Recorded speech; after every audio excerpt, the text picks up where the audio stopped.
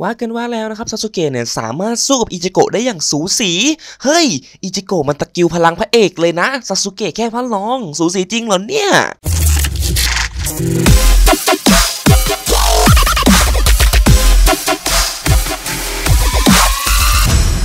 ครับสวัสดีแฟนๆชาวในเพื่อนกันทุกคนด้วยนะครับ ผมทุกคนนะฮะวันนี้นะครับเราก็มาพบกับคู่ตัวละครที่เหมาะสร้างเหมาะสมกันเลยก็ว่าได้นะครับอิจิโกะเนี่ยปะทะกับซาสุเกะนะครับโดยมีน้องคนหนึงนะครับขอเข้ามาว่า พี่ฮะพี่ฮะผมขออิจิโกะปะทะกับซาสึเกะหน่อยเออผมแต่อยากได้ซะเหลือเกินนะเห็นวัยรุ่นทั่วไปพูดว่าซาสึเกะสามารถตบได้นะครับ ผมทำให้หน่อยนะพี่ ได้เลยครับผมเดี๋ยวเราจัดให้นะครับผมโดยสเกลการวัดวันนี้ของเราที่จะวัดนะครับ ก็จะมี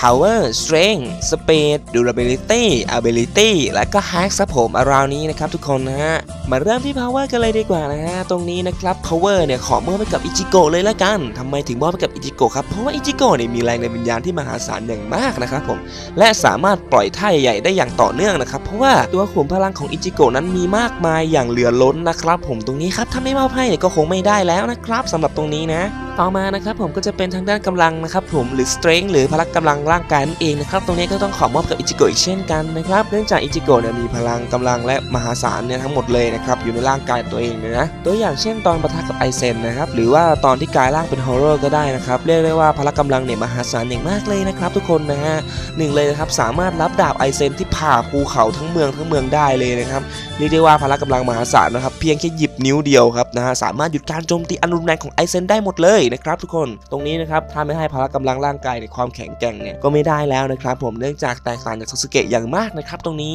ในด้านสปีดนะครับตรงเนี้ยก็ต้องมอบให้กับอิจิโกะอีกเช่นกันนะครับน้องๆก็ถามว่าเฮ้ยพี่ซาสึเกะมันก็เร็วนะมันสามารถวิบวับได้เลยนะครับตรงนั้นนะครับเป็นเนตของซาสึเกะนะครับเป็นเนตสังสารใช้ในการเคลื่อนย้ายพิบตาครับผมในช่วงขณะขณะหนึ่งนะครับไม่ใช่การเคลื่อนที่หรือการเคลื่อนย้ายโดยตรงของร่างกายนะครับ ซึ่ง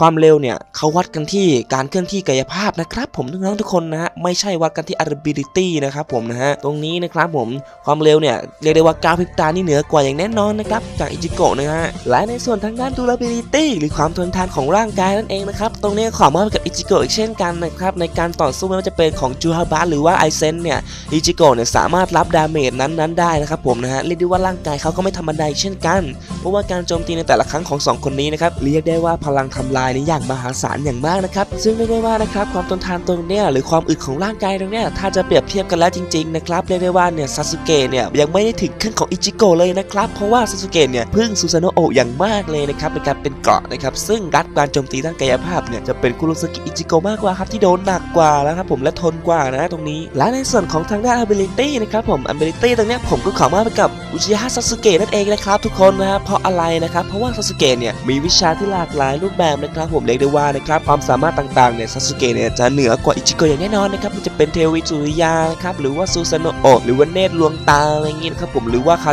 พวกคาถาแบบ วิถีอะไรอย่างงี้นะครับ ซึ่งตรงเนี้ยคาถาของซาสึเกะเนี่ยหรือความสามารถของซาสึเกะเนี่ยมันจะมากกว่าอิจิโกะอย่างแน่นอนนะครับทุกคนไม่ให้เนี่ยก็คงไม่ได้แล้วนะครับและในท้ายที่สุดนะครับเราก็ต้องขอมอบแพ็คเนี่ยให้กับอุจิฮะซาสึเกะนั่นเองนะครับผมเพราะอะไร เพราะว่านะครับผมเนตรของซาสึเกะนะครับมันจะเป็นเนตรกระจกเงาหมื่นบุพางหรือว่าดวงตาของเนตรสังสาระนะครับและไม่ว่าจะเป็นไฟของเทวีสุริยานะครับตรงเนี้ยก็ถูกรวมให้ไปแล้วนะครับว่าเป็น hack หรือความโกงนั่นเองนะครับซึ่งสกิล ability ของซาสึเกะเนี่ยมันมีมากมายกว่านี้แต่แอดเนี่ยไม่ได้เอามาทั้งหมดนะครับแต่อยากบอกให้รู้ว่านะครับตรง hack ตรงเนี้ยพลังความโกงทั้งหมดตรงเนี้ยนะครับต้องเป็นของซาสึเกะอย่างแน่นอนนะครับทุกคนนะฮะและแล้วนะครับก็มาถึงช่วงท้ายในการสรุปผลแพ้ชนะแล้วนะครับว่าใครเนี่ยเก่งกว่ากันนะครับโดยรวมแล้วนะครับอิจิโกะเนี่ยต้องชนะอย่างแน่นอนนะครับผมชนะเพราะว่าพลังเขาค่อนข้างที่จะเยอะนะครับไม่ว่าจะเป็นแรงดันวิญญาณ หรือพลังของควินซี่เองก็ตามแต่นะครับหรือไม่พลังของฮอลโลว์หรืออะไรก็ได้นะครับเรียกได้ว่าเนี่ยพลังเขานำโด่งเลยทุกอย่างนะครับตรงเนี้ยก็เลยทำให้อิจิโกะนี่มีพลังที่มหาศาลและสามารถทำลายล้างตัวของซาสึเกะได้อย่างง่ายดายเลยก็ว่าได้นะครับทุกคนเป็นยังไงกันบ้างครับผมนะหลังจากที่พูดถึงสเกลพลังโดยรวมทั้งหมดแล้วนะครับว่าใครเนี่ยเหนือกว่าใครนะครับ ผมตรงเนี้ยนะครับทุกคนนะถ้าหากใครเนี่ยมีข้อโต้แย้งหรือว่าอยากจะคอมเมนต์อะไรที่เป็นความรู้นะครับสามารถคอมเมนต์ลงได้เลยนะครับทุกคนนะฮะหรือไม่ก็เป็นความคิดเห็นที่ไม่เห็นด้วยก็ได้นะครับพี่ก็จะนำมาอ่านเหมือนกันและปรับปรุงทั้งหมดเลยนะครับแล้ววันนี้นะครับก็มาถึงช่วงท้ายคลิปกันแล้วนะครับทุกคนนะฮะถ้าหากใครชอบคลิปนี้เนี่ยก็อย่าลืมกดไลค์และกดแชร์กันด้วยนะครับที่สำคัญนะครับอย่าลืมกระทืบติดตตามให้กับช่อง Anime Pattern ของเราด้วยนะครับทุกคนสำหรับวันนี้นะครับ Anime Pattern เนี่ยขอตัวลาไปก่อนแล้วนะครับทุกคน บ๊ายบาย